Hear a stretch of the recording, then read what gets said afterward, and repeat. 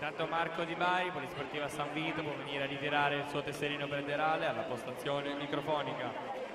Per la quarta serie, i blocchi di partenza.